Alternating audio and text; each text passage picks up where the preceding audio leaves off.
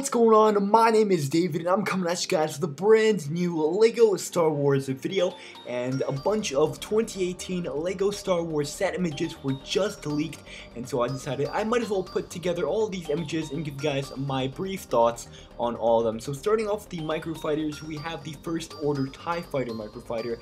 Honestly, nothing really too special. The build looks okay for what it is and unfortunately it is not that brand new First Order TIE Fighter pilot that was also seen in the Kylo Ren's TIE Fighter set.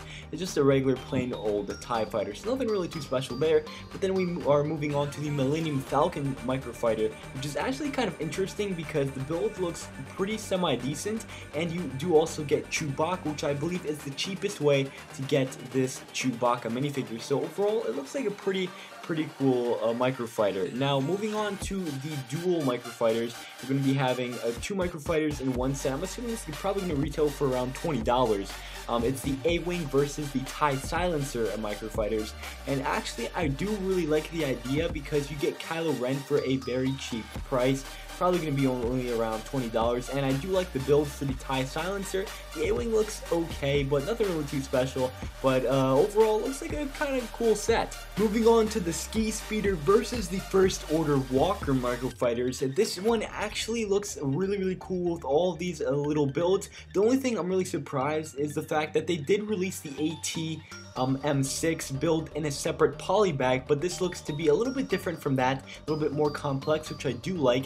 And also something to note is that uh, this set includes the First Order Walker Driver, which was previously exclusive to the ATM6 set, which retails for about $150, so that is something extremely positive. Next up here on the list is the first out of two battle packs for this wave, the First Order Specialist Battle Pack, which is actually a pretty semi-decent battle pack, comes with a really cool turret build, but more importantly, it comes with the First Order Executioner minifigures, comes with two of them, so that makes this set really, really awesome. Moving on to the second battle pack, we have the Tatooine battle pack, coming with one Sandman, two Jawas, and a red R2 unit. Honestly, I'm having having a little bit of mixed feelings about this. Doesn't really look too special, but at the same time looks like a very cool build. So I think it's going to be an okay set. For the buildable figures in this wave, we do have Boba Fett, which looks pretty similar to the Jango Fett that we received in the initial wave of these buildable figures, but of course, this one does look a little bit cooler with that tattered cape, which does add that very extra effect. And then we have a re-release of a Darth Vader, and this one actually comes with that human kind of head um, mold, and I don't really know how I'm feeling about that. It doesn't look too great, but at the same time, with the mask on, this Darth Vader looks spectacular. And finally, moving on to the actual sets of the wave, we have General Grievous' Combat Speeder, and guys, this set just kind of looks meh to me.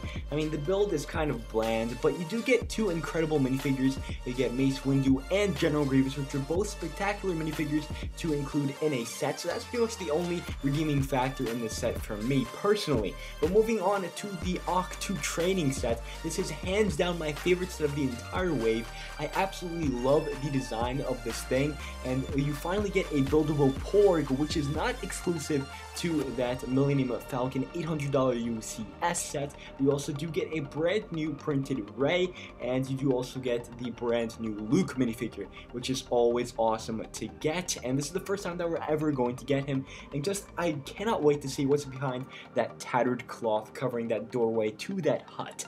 And uh, finally, we have the Defense of a Crait set. I love that main aircraft and how that build kind of came together. I really do like that a lot. And this set does come with two First Order Snowtroopers, so it's always awesome to add those to the Army collection.